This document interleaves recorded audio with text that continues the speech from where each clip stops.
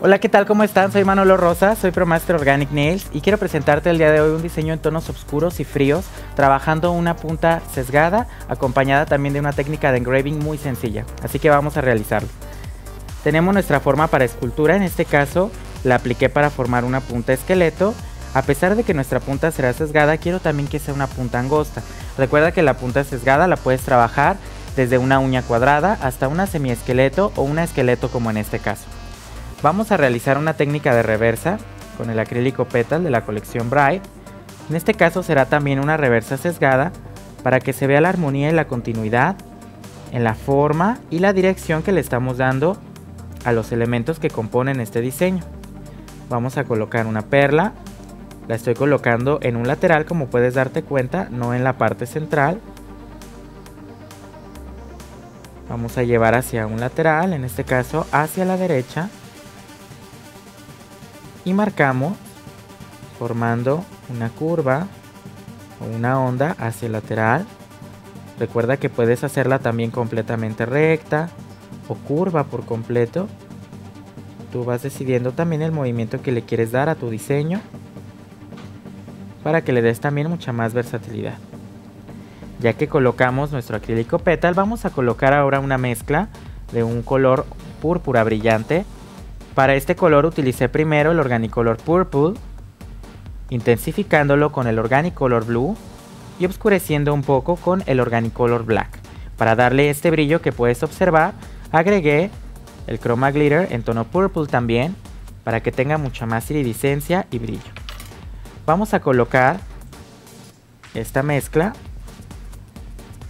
comenzando por la línea de sonrisa, nuestra sonrisa sesgada, Coloco y voy empujando el color para que la humedad me permita que entre perfectamente en las anclas de tensión que marqué previamente sin tener que batallar tanto ya que muchas veces lo colocamos muy seco el color y es casi imposible llevarlo hacia estos picos que conforman las anclas de tensión, en este caso que una es mucho más elevada que la otra por el tipo de reversa que estamos trabajando. Vamos a coger un poquito el color de los laterales y voy a colocar una perla más de este tono para difuminarla hacia la parte baja.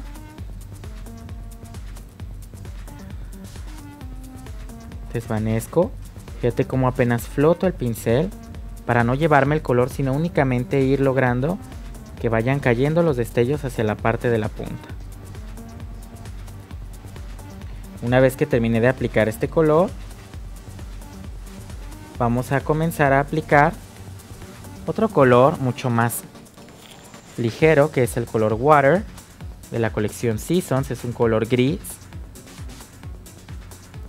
con brillo muy ligero. Lo voy a colocar en punta, desde aquí vamos a comenzar a formar nuestra punta sesgada. Y de manera inmediata mientras sigue fresco comienzo a desvanecer hacia el primer color que aplicamos que fue nuestra mezcla de color púrpura brillante. Vamos presionando. Recuerda que la dirección que debe tener la parte sesgada de nuestra aplicación es recomendable que se haga hacia el dedo meñique de nuestra cliente para que pueda ser funcional y con esta punta más larga pueda recoger y tomar las cosas fácilmente y pueda ser una punta muy fácil de portar. Voy a colocar una perlita más de water para acabar de desvanecer bien los colores. De nuevo subo un poquito el color y ahí está, logramos nuestro difuminado perfectamente. En lo que son los acrílicos de colección o que tienen elementos como glitter o artículos de decoración es muy fácil lograr los difuminados ya que precisamente esa textura ayuda a que se pierda mucho más rápido la división entre cada color. Ya que terminamos de realizar la base, vamos a comenzar a encapsular con acrílico cristal desde nuestra línea de tensión, donde se encuentra nuestra sonrisa sesgada, desvaneciendo el acrílico hacia la parte superior, hacia lo que corresponde al área de cutícula, y posteriormente colocando las perlas, recuerda siempre en la parte central, y después llevándola a los laterales para desvanecer posteriormente hacia la parte del área de cutícula. Esto te va a ayudar a que tu encapsulado quede completamente parejo y puedas evitarte muchísimo tiempo limando. Vamos a continuar entonces encapsulando de esta misma forma una perla tras otra hasta terminar la punta. Una vez que secó nuestro encapsulado vamos a retirar la forma para escultura para poder realizar el limado que lo realizaremos como siempre con nuestra lima Zebra 100 profesional recomendada para limar el acrílico. Nuestros laterales bajos los laterales que son en B recuerda que nuestra punta es esqueleto.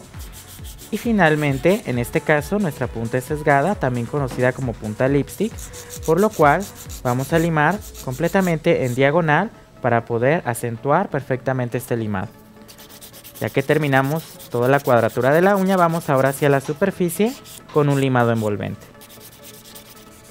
Vamos a pulir con Spongy 180 después de haber realizado el limado con la lima 100. Recuerda que esto te va a ayudar a que tu superficie quede sin rayones y esto también ayude por supuesto a la cristalinidad ya que tu diseño se vea mucho más nítido y más limpio en lo que es la base. Vamos a retirar el polvo con el Synergy Wipe con nuestro dedito. Fíjate el difuminado como luce perfectamente en la base. Color de intenso a más claro. Y vamos a trabajar ahora para nuestro engraving. Primero una base en técnica rusa en la punta. Para la cual vamos a realizar una mezcla en este vasito. Trabajando un marmoleado en seco. Recuerda que para trabajar esta técnica te recomiendo que utilices dos o tres colores máximo que sean de contraste y preferentemente que uno de ellos sea un organicolor metálico para que pueda darle este efecto que verás más adelante como un mármol. Vamos a trabajar con nuestro empujador para cutícula. Primero voy a colocar en el vasito de cristal el organicolor black. Voy a colocar solo dos cucharaditas de este organicolor que quede bien asentado. Y posteriormente vamos a trabajar una cucharadita del Organicolor Metallic Silver. Esta vamos a procurar que cubra por completo el Organicolor Black. Y lo que haremos será solamente entremezclar un poco con el mismo empujador sin lograr que el color se mezcle por completo, sino dejándolo solamente de esta manera. Puedes ver que en el vasito ya se ve marmoleado para que a la hora de tomar el color ya se vea perfectamente este tipo de efecto. Lo puedes hacer ya sea también negro y dorado, negro y bronce o cualquier otro tipo de tonalidad incluso más clara que tú desees. Ya que tomamos la perla la vamos a colocar. Primero vamos a formar un sesgo. Recuerda que quede muy delgadita la base. Es una técnica rusa y por lo cual también tiene que ser muy delgada. Para nuestra técnica de engraving nuestra base debe ser lo más delgada posible, casi como si fuera una tarjeta de presentación, para que esto ayude también a que salga mucho más fácil la textura que estamos realizando. Ya que quedó la técnica rusa vamos a hacer una pequeña extensión en la parte superior como si fuera un pequeño espiral ya que aquí posteriormente colocaremos un cristal Swarovski que envolverá precisamente con este pequeño espiral o este pequeño gajo hacia la parte superior. Fíjate cómo se ven los cambios de color. La perla que acabo de aplicar se ve un poquito más oscura y la primer perla que apliqué tiene un poquito más de cantidad del metallic silver, lo cual es precisamente el efecto que queremos lograr.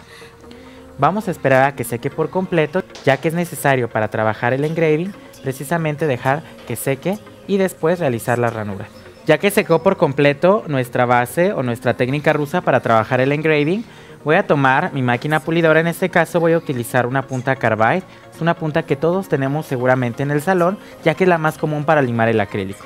Vamos a colocar nuestra máquina pulidora en una velocidad media. Esto es para que nos ayude a trabajar perfectamente con velocidad y presión nuestra técnica de engraving.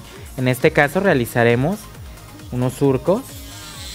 Recuerda que es importante tener siempre nuestro dedo, en este caso yo estoy utilizando el dedo meñique para trabajar un equilibrio y de esta manera pueda quedarnos bien marcado el surco que estamos trabajando. Primero puedes realizar solamente el trazo y después si tú así lo deseas, darle un poquito más de profundidad para que se vea el color de la base, que es un color más claro por supuesto que el de la superficie que acabamos de utilizar. Ahí está, aquí estamos trabajando los surcos y también puedes realizar algunas impresiones, como ya lo hemos visto también de media luna, para dar diferentes acabados y texturas dentro de este pequeño espacio que trabajamos anteriormente. Ahí está, vamos a apagar nuestra máquina y te recomiendo que después de haber realizado el engraving puedas con un cepillito retirar el exceso de polvo que se pueda provocar para posteriormente volver a limpiar con una gasita con Synergy Wipe. Esto te ayudará también a retirar cualquier partícula por mínima que sea que haya quedado entre cada uno de estos surcos y pueda lucir perfectamente el color gris que es el water que colocamos en la base. Vamos ahora a colocar algunos cristales.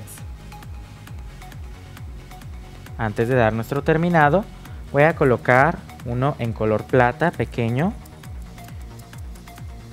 Está. Y vamos a colocar también uno en forma de zigzag. Primero el de color plata aquí en la parte central como te había mencionado. Que se vea cómo envuelve el engraving a nuestro cristal de color plata.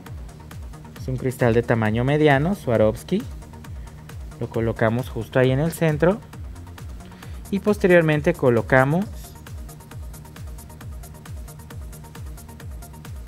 un pequeño zigzag con la misma resina para colocar nuestro otro cristal Swarovski en forma de S.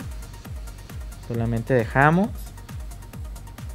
y seca inmediatamente ya que la cantidad de resina fue muy pequeña y también recuerda que como este cristal es un poquito más grande te recomiendo que lo coloques en lo que es la parte central no tan a la orilla como puedes observar.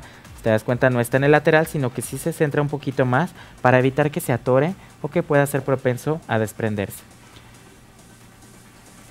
Vamos a adherir también después de nuestros cristales unos balines en color plata con un poco de acrílico cristal dándole continuidad a nuestro Swarovski que aplicamos en color plata en el área del engraving solamente para trabajar como si fuera una estela de balines que acompaña un poquito al cristal logrando que se vea cómo va disminuyendo, que hay más balines y que termine solamente en un solo balincito. Se vea solamente como un toque que lo acompaña sin robarle atención por supuesto al engraving y a los cristales que protagonizan nuestro diseño. Ahí está. Y antes de darle el terminado con Finish Gel vamos a colocar algunas líneas con el nail art en color plata. Vamos a comenzar contorneando un poco nuestro cristal Swarovski en forma de S, dándole la misma forma de este lado podemos comenzar a hacer hacia el otro lado como unos triángulos pero que se vea en curva también ya que es una figura o una línea que tiene mucha incidencia en nuestro diseño del otro lado también primero contorneamos el Swarovski y de ahí continuamos con las mismas líneas para completar toda esa área Vamos ahora sí a dar el terminado. Colocando primero una capita de Protein Bond en área de cutícula. Recuerda que el nail art seca bastante rápido siempre y cuando lo trabajemos muy delgado. Si ves que tus líneas son un poquito más gruesas, hay que dejar que seque por completo para que el finish gel no llegue a traerse el esmalte si es que está muy fresco. Vamos a colocar el finish gel solamente en la superficie sin tocar por supuesto nuestros cristales ni la técnica de engraving, la cual te recomiendo que quede completamente mate para que pueda lucir toda la textura que trabajamos con la máquina pulidora. Está. En los balines puedes colocar un poquito de finish gel para asegurar un poquito más su durabilidad y que no se atoren. Vamos a dejar curar nuestra lámpara por dos minutos. Una vez que transcurrió el tiempo de curado, retiramos y es así como queda terminado nuestro diseño con una punta sesgada. Espero que lleves a la práctica esta técnica, ya que es una técnica que puedes realizar también en diseños muy cortos y dando un aspecto diferente incluso para retoque. Experimentala. Yo soy Manolo y me dio gusto estar contigo. Nos vemos muy pronto.